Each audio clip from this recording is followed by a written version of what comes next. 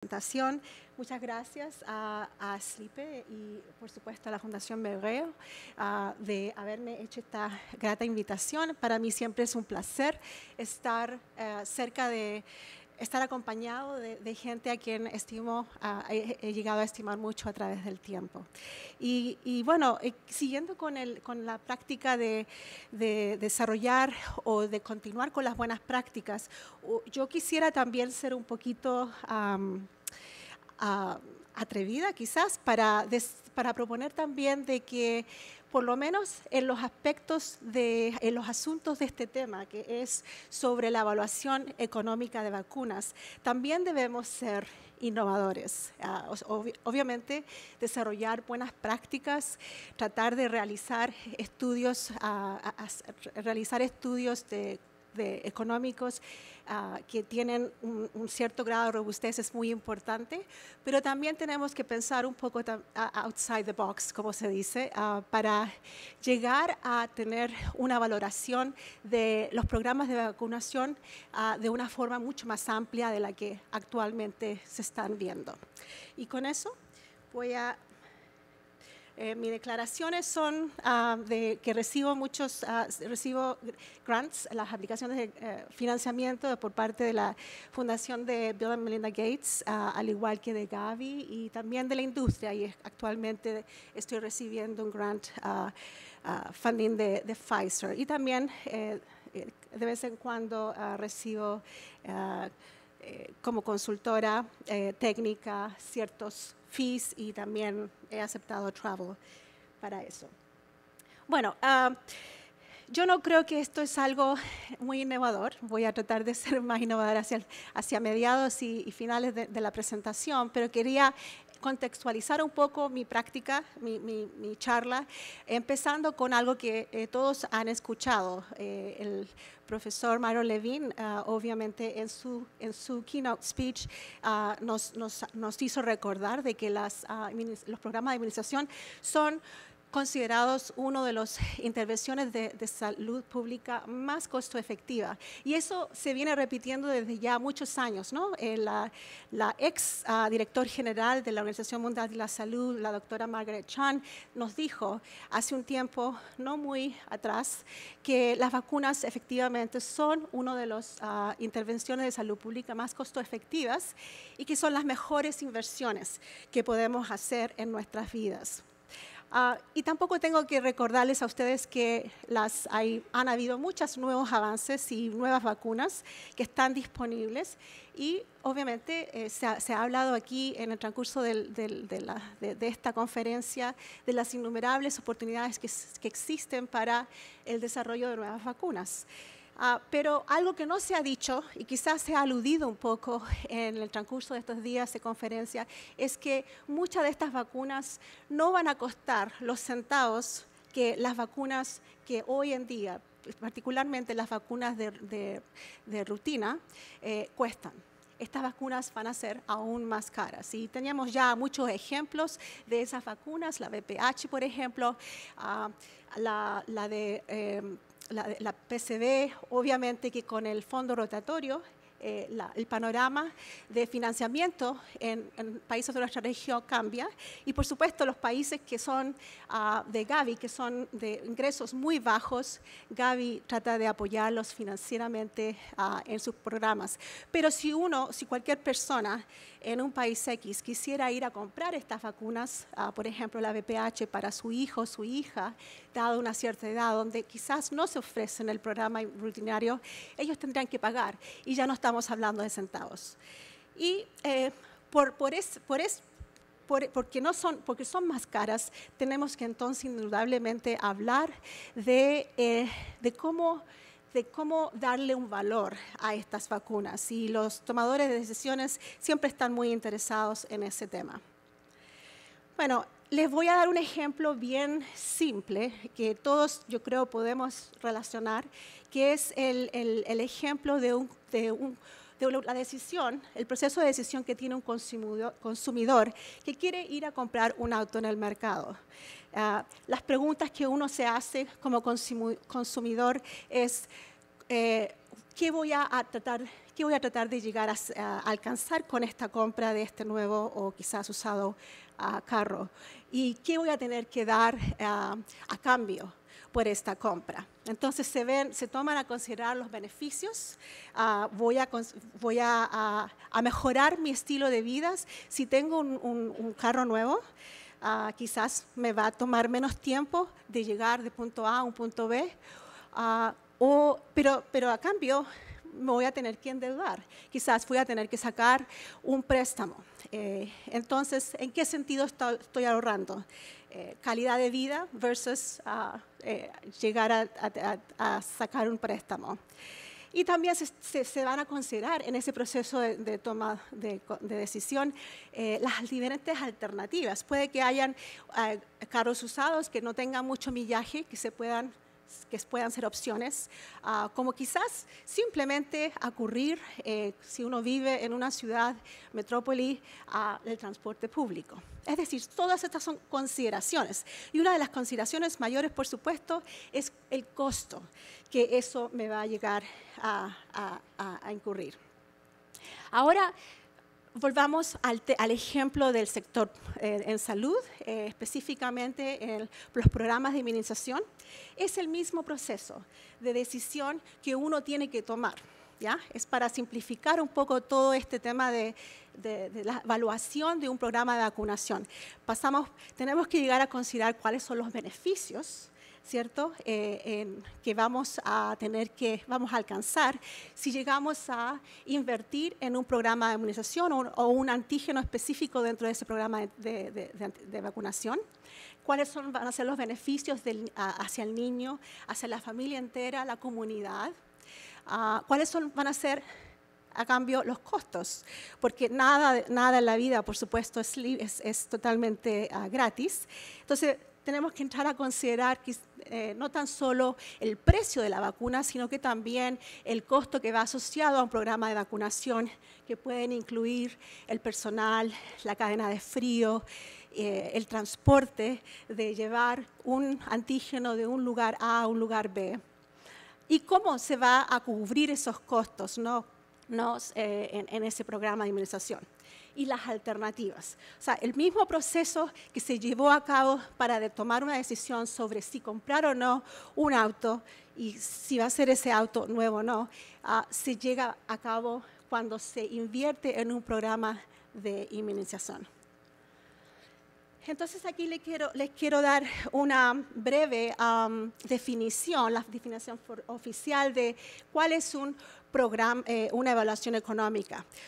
Porque, dentro, a, diferencia de cuando uno toma una, una, una decisión sobre, tomar, sobre comprar un carro o no, una de las cosas que es importantísimo en el área de salud y específicamente en los programas de administración es cómo valorizar, valorizar ese programa. Entonces entramos a hablar eh, en todo lo que tiene que ver con los métricos, las métricas, metrics, um, de, este proceso de decisión.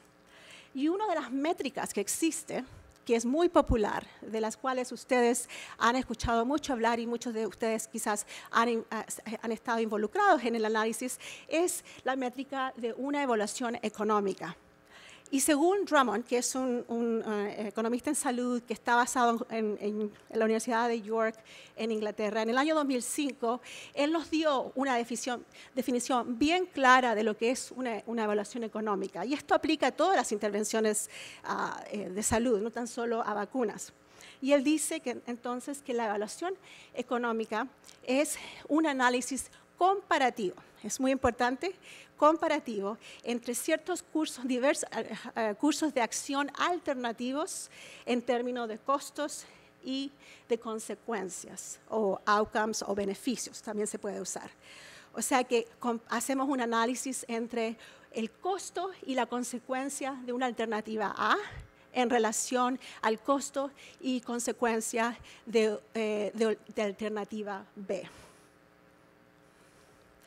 Existen eh, diversos tipos de eh, evaluaciones económicas y ellas difieren primordialmente en el tema de cómo se evalúa el outcome, o sea, el beneficio de cada una de las intervenciones que se están comparando. Es, recordar de que eso es una comparación de cursos de acción alternativos. La más simple que se desarrolla y la cual se ha usado mucho es el análisis de costo-minimización, donde el objetivo es tratar de alcanzar a elegir la, la, intervención que es más barata, asumiendo de que el outcome, o sea, el beneficio, es equivalente por ambas alternativas. O sea, alternativa A y alternativa B van a, ser, van a tener el mismo igualito, eh, el mismo outcome. Entonces, por lo tanto, la preocupación no es en el outcome, sino que en el costo. Y ahí lo que se trata entonces de hacer es de buscar la alternativa que es más barata. Ah, en cuanto a la, la análisis de costo-beneficio, la diferencia aquí es que igualmente, como en todas ah, las, evaluaciones económicas, los costos siempre se asignan un, un, costo monetario y este costo puede ser obviamente un US dollar, expresado en US dollars o international dollars, o puede expresarse también en la, en la, moneda local. Pero a diferencia de las otras evaluaciones económicas, es que en el lado del outcomes eh, la, se asigna un valor monetario al outcome. Um, y este, este particular uh, tipo de análisis económico está viendo entonces la, eficiencia técnica, o sea, qué um, eh, eh, servicios de salud se pueden proveer, al igual que la eficiencia asignada, eh, es decir, cómo se va a proveer ese servicio de salud. Eh, han escuchado ustedes mucho de costo-efectividad, eh, o sea, el análisis de costo-efectividad, el análisis de costo-utilidad. En realidad, el análisis de costo-utilidad es como, es, un, es como un análisis de costo-efectividad, pero la diferencia es que cambia el outcome, o sea, el, beneficio. Y aquí no estamos hablando entonces de unidades naturales, por ejemplo, el costo por muerte evitada o el costo por, de evento hospitalario evitado, sino que, eh, sino que de DALIS y QUALIS, o sea, eh, los años de vida, ah, de vida ajustados por discapacidad o los años DALIS o los años de vida ajustados por calidad, QUALIS. Bueno, entonces la pregunta que se hace uno es cómo se, es cuando una vacuna, un programa de vacunación es costo efectiva. Eh, yo creo que esa es una, algo que se habla mucho y, realmente no hay una, una, una, metodología, un abordaje científico a este. Se ha tratado de ver diferentes enfoques teóricos y pragmáticos ah, sobre este tema y voy a tratar de ligeramente explicarlos, pero en últimas, cómo define o cuándo una vacuna es coste efectiva tiene que hablar, es, cierto, del impacto que esa vacuna, ese programa de vacunación pueda tener en el hogar, por ejemplo, si reduce los gastos económicos que va a incurrir, incurrir a un padre o una madre por manejo de la enfermedad, o cuál va a ser el impacto económico, ojalá favorable para el sistema de salud o para la sociedad entera. Entonces, desde el punto de vista más teórico, lo que usualmente se hace es que una vez que se realiza una serie de análisis económicos de diversos antígenos, por ejemplo, se puede comparar, se puede hacer un análisis de la vacuna neumococo eh, con el, status quo en ese país, en ese setting, y ese entonces después se compara con una intervención similar, por ejemplo, la vacuna de rotavirus. Eh, hablo de similaridades aquí, por supuesto, las dos vacunas no son iguales, pero estamos hablando en forma relativa de que una vacuna fácilmente se podría eh, comparar con otra vacuna, a diferencia, por ejemplo, de comparar una vacuna contra alguna estrategia de, aguas, de aguas sanitarias, por ejemplo. Eso es, eso es una comparación que se puede hacer porque en últimas lleva a la misma consecuencia, pero está más alejada que decir que hacer una comparación entre dos vacunas que quizás tienen diferentes impactos se hacen esos análisis económicos entonces, y estos pueden ser análisis económicos que ya han sido publicados, y se ponen en una tabla que se llama un league table, donde se ranquean a las diferentes intervenciones de la más favorable a la, más, a la menos favorable. Y mientras más bajo sea el ISER, que es el, el, el Incremental Cost Effectiveness Ratio, que es el ratio ah, de costo-efectividad, la relación de costo-efectividad agregado o incremental, mientras más bajo sea ese número, que acompaña, suponte, uh, al PERDALI averted, uh, o sea, eh, a los años de vida ajustados por, por discapacidad evitado, mientras más bajo sea ese número que está acompañado a ese outcome, a ese beneficio, más coste efectiva debería ser esa, esa, esa, intervención. Por lo tanto, se, se, van enumerando todas las intervenciones que se están comparando de diversos estudios y ojo que estos estudios pueden tener diferentes metodologías, diferentes presuposiciones, uh, en fin, un sinnúmero de incertidumbre allí. Uh, y se hace, se hace entonces, se crea una tabla que se llama un league table. Y esa es una forma bien, no, muy científica, de llevar a cabo una, algún tipo de, insight en, lo que se, se, puede decir que algo es más costo efectivo que otra, haciendo una comparación, ¿cierto?, relativa de todas esas intervenciones que se listan en una tabla. La otra comparación, la otro, el otro enfoque que se puede hacer es uno que es, que es pragmático, donde se hace uso de algún tipo de benchmark. Y ustedes también deben, deben ser, uh, deben estar familiarizados con estos benchmarks. Hay uno que se, que se usa muy usualmente, muy, muy típicamente, es muy común. Eh, eh, de la Organización Mundial de la Salud, que está en base a una recomendación que hizo la Comisión de eh, Macroeconomía y Salud, donde se dice que un ISER, o sea, supongamos que es el costo por, um, años de vida ajustados por discapacidad evitado, es menor que el, eh, Producto Bruto neto, neto por cápita de un país, digamos que es Bolivia, por ejemplo, si ese, ese ISER es menor a ese GN, eh, GNI por cápita, entonces se puede decir de que una intervención es altamente costo efectiva, muy favorable.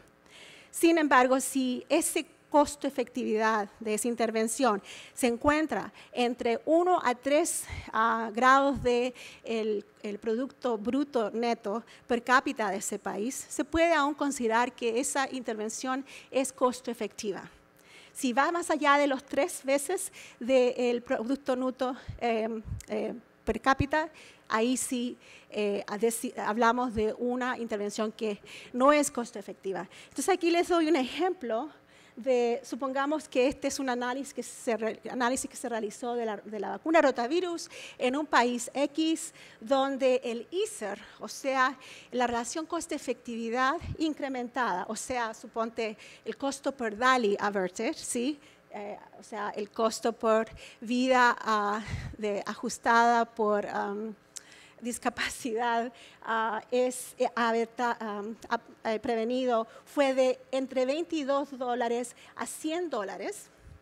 Ahí podríamos decir que si en el país X el GNI per cápita, el producto neto, es de 450, que obviamente muy bajo, y en nuestros países ese es un, eh, nosotros quizás eh, no se alcanza eso, quizás Haití de repente podría entrar quizás tienen un poquito más alto el GNI per cápita, ahí se podría decir que esa, intervención es costo efectiva. Y esta es una ilustración para darles a conocer de que en realidad no hay una ciencia de rocket acá. Es algo bastante subjetivo, bastante eh, relativo a, a la circunstancia en la que se está haciendo el estudio. Bueno, cambiando un poquito, llevándonos entonces a esa idea de qué es, qué hace una vacuna, un programa de vacunación coste efectivo. Les quiero plantear eh, los, los los paradigmas eh, que, se, que han, se han estado pensando desde ya hace mucho tiempo.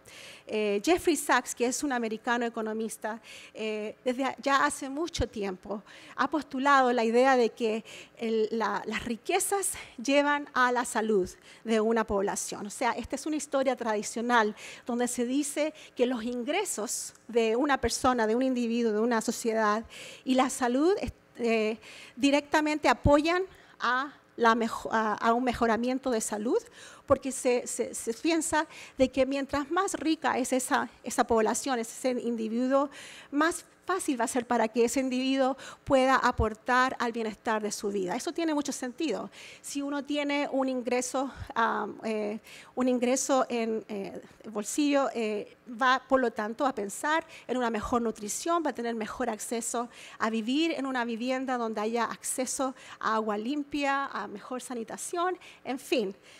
Pero también hay otro, el otro lado de la moneda de, personas, de economistas que piensan que es todo lo inverso. O sea que la salud lleva a la riqueza de una sociedad. O sea, en lugar de ser riqueza a salud, eh, la conexión entonces sería de salud a riqueza. Y este es lo que resta de la historia. Y también podría uno pensar de que mientras más un individuo tenga una mejor salud, va a poder promover, promover entonces mayor ahorros, hacer, realizar mayor inversión, tener una, una, mejor vida, una vida más, más larga, mayor productividad. se va a crear un dividendo demográfico donde la población que vaya a, que, que esté actualmente trabajando vaya a ser es decir, productiva, vaya a ser mayor a esa, al sector de la población que no trabaja. Y también va a, haber una transición demográfica donde los hogares van a ir de más grandes a menores en tamaño, lo que también eso puede promover, ¿cierto?, un progreso económico. Con todo este pensamiento, estas conexiones de riqueza a salud y salud y riqueza, se ha venido desarrollando desde el 2010 por Barney Hausen y colegas en Harvard, la Universidad de Harvard, eh, un nuevo paradigma. Y de aquí es, es porque yo entonces digo de que hay que pensar en forma más innovadora.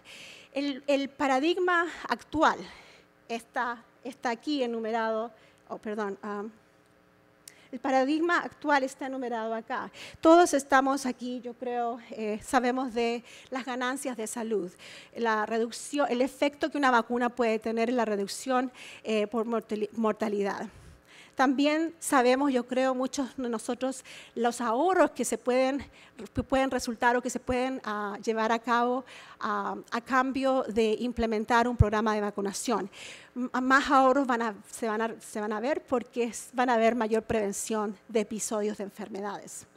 También ah, existe este, este, este paradigma. Eh, que es una perspectiva bastante antigua de que ah, van a haber aumentos de productividad relacionados con el cuidado que se deben a los ahorros de gastos médicos, porque vacunación va a prevenir episodios de enfermedad. Pero, y eso es el, el viejo paradigma. Pero ahora muchos economistas en salud están hablando del nuevo paradigma y estos están enumerados a partir de esta, de, de esta parte de la tabla.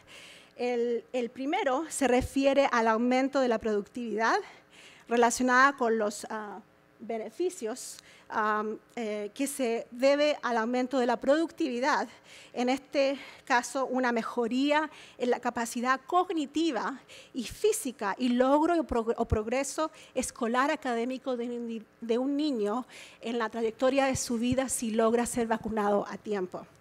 Y el segundo es el aumento de la productividad relacionada con el comportamiento de, indicador, de individuos, es decir, la vacunación mejora la salud y la supervivencia de los niños y por tanto se ven cambios en las opciones que tiene cada uno, cada individuo en el hogar.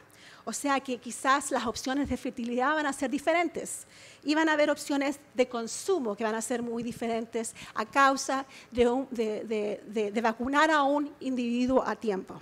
Y el último, que ustedes están más familiarizados, eh, tiene que ver con las externalidades de, la comunidad, eh, donde los beneficios se acumulan porque la vacunación mejora esos mismos beneficios entre los miembros de la comunidad que no están vacunados, o, sea, el efecto rebaño. Aquí hay un ejemplo, les voy a dar dos ejemplos eh, en, Asia, eh, donde se han hecho estudios longitudinales, donde eh, se, se, ven los efectos que puede tener un programa de vacunación desde el punto de vista de la productividad que se puede alcanzar a tener un aumento relacionado con los beneficios que se deben al aumento a, causa de la vacuna. Y no les doy ejemplos en Latinoamérica porque realmente no existen. El primero, por supuesto, y muchos de ustedes deben, estar familiarizados, es del estudio de longitudinal de Cebu en las Filipinas que se realizó en los años 80. Ellos, los investigadores de este estudio, empezaron a reclutar a niños que habían nacido en el año 1983 y también hicieron una expansión hasta el 84.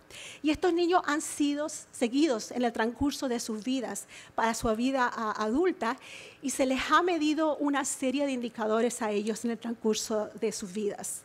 Eh, lo que este estudio muestra específicamente es que ah, la vacunación eh, ha logrado tener un, impacto grande y significativo en, por ejemplo, los, puntajes que se, se dan en los, eh, exámenes que los niños estos hacen en sus escuelas alrededor de un, punto, un incremento de 0.5 de desviación estándar. Y, también se, dice que eh, una ganancia de un estándar de desviación de estándar en una, una, prueba, un examen cognitivo, puede estar relacionado a un alza de ingreso en la vida de ese individuo de alrededor de un 8%. Otro ejemplo acá en, MATLAB, en Bangladesh, donde nuevamente en este caso específico se, ve la, se, está mostrando el efecto que tiene la vacunación por, contra misos en el progreso de niños que han sido vacunados a tiempo, eh, específicamente el, el enrollment, um, el progreso, el alcance que estos niños tienen académicamente. Y aquí muestra, por supuesto, qué pasa con esos niños que se vacunan eh, durante el, el, schedule, el calendario de inmunización a tiempo. Eh, aquellos que sí se vacunan a tiempo, o en este caso en, el MISOS, la vacuna de MISOS se tiene que, en Bangladesh, se los niños se tienen que vacunar un año antes, ah, o, sea, antes de cumplir el año hay un 9% de aquellos niños que entonces alcanzan a eh, asistir al colegio. Y, en fin, no les voy a... Doctora. sí, perdón. Estamos en tiempo. ¿Quiere que pare? No, no, y digamos, ir redondeando porque ya... Sí, por supuesto. Bueno, estos, lo que quiero decir aquí con esta diapositiva es de que todos estos estudios longitudinales tienen como raíces estudios que se han llevado a cabo con intervenciones de salud. Muchos de ellos tienen que ver con ah, medidas de nutrición. Eh, hay un específico, el INCAP, que eh, viene, es, muchos de ustedes deben estar familiarizados con este estudio longitudinal que muestra que los suplementos eh, de, ricos en proteínas que se les dan a niños antes de que ellos empiecen el colegio pueden mejorar inevitablemente su crecimiento o sus niveles de cognición. Entonces, nada de estos estudios ha venido de la nada. Ese, es mi gran... Ah, esto. Aquí les quiero dar una eh, quiero volver eh, a, apoyar un poco más la idea esta de qué impacto tiene eh, la vacunación en la trayectoria, de la vida de un individuo.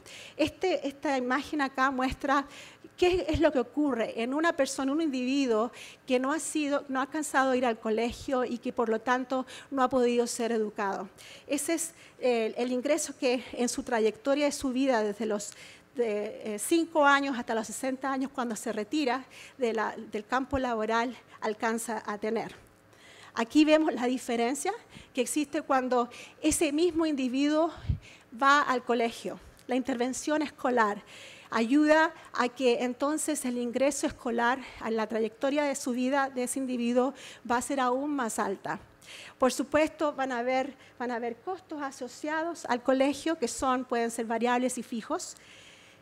Y aquí muestramos el impacto que puede tener eh, la vacunación durante, eh, eh, un, en un niño durante la, trayectoria en su vida. Nuevamente aquí hablamos de costos que puede implicar un, programa de inmunización que está bien relacionado, pero sin embargo ven ustedes que entonces se ayuda, ese individuo puede ayudar a alcanzar una mejoría inmensa en sus ingresos eh, mediante mejor desarrollo cognitivo, quizás falta menos al colegio y puede tener menores discapacidades. Bueno, sobre el uso de economías, eh, evaluaciones económicas, se puede decir que eso ha sido de forma en gran parte ad hoc en muchos sectores de salud, en muchos países eh, del mundo, excepción algunos países en Europa donde ellos requieren estudios de, económicos. Pero, sin embargo, estos sí, ciertos estudios, y esto, eh, ciertos estudios sí han alcanzado a tener mayor atención, y eso lo mencionó eh, el, doctor ah, John Andrews, que, tiene que ver con un estudio de análisis de ah, una em, return of investment que viene, que ocupa, eh, aborda en forma más amplia eh, la evaluación de un programa de vacunación, donde se dice que por cada dólar incurrido, por cada dólar gastado, 16 dólares, son 16, no 15, 16 dólares son, eh, eh, se, transforman en beneficios económicos. Entonces ha habido en gran parte una cierta resistencia a estos estudios económicos.